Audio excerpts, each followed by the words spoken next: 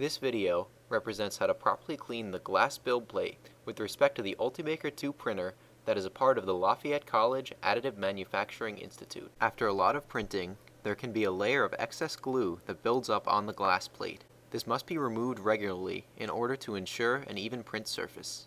First, ensure that the Ultimaker 2 is powered off by using the switch located on the back of the printer. Also make sure that the printer is properly cooled down before touching any parts and that the build plate is at the lowest position in the Ultimaker 2. There are two clamps on the front of the glass plate.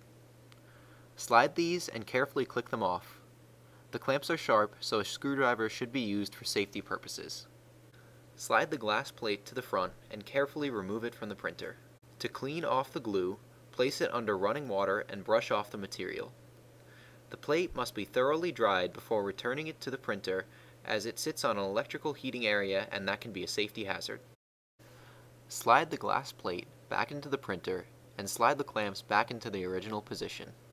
To learn more about the operation of the Ultimaker 2 printer, watch the related videos on the Lafayette AMI YouTube channel.